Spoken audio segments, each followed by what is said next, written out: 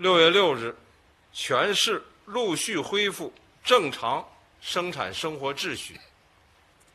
天堂超市酒吧在经营期间，为严格执行测温、扫码、查验核酸阴性证明等防控措施，为落实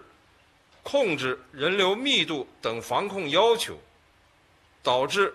疫情爆发式扩散传播。截止今日十五时，关联天堂超市酒吧确诊病例已达二百八十七例。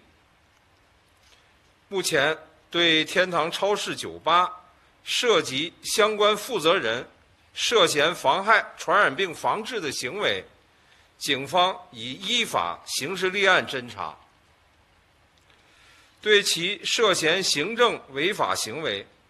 市文旅、卫健、商务、市场监管、公安、文化执法等部门已联合开展调查。